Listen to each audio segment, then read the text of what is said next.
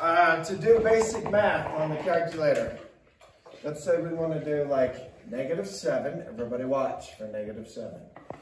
If you're typing in a negative for the first thing that you're typing in, make sure you use the little negative at the bottom in parentheses.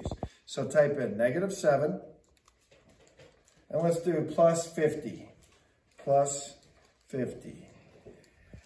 Now, I won't give you the answer until you hit what? Enter. What is negative 7 plus 50? Positive 43. Boy, this would have been nice on that quiz.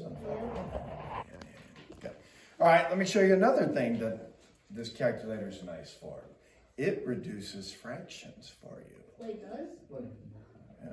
Okay, so let's take a fraction from the quiz that you had to reduce.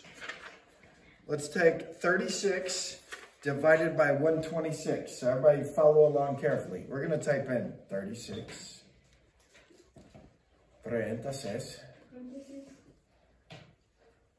Now you're going to hit divided by, divided, 126, but do not hit enter. If you hit enter, it'll give you the decimal. We don't want the decimal. We want the fraction to be reduced. Here's where you go to reduce fraction. Everybody find the button with math on it. It's right below the green one. Hit it.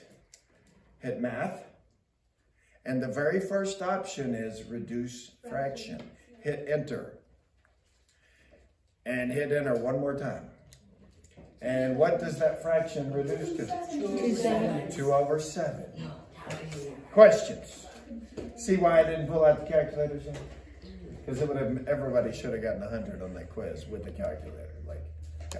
All right, so we're going to start using the calculators every day. I'll show you things here and there. If you didn't catch what I just showed you, once we start the homework in a minute, come up and say, hey, how do I do that again? I'll show you. Does that make sense? Okay. All right. Uh, let's talk about irrational.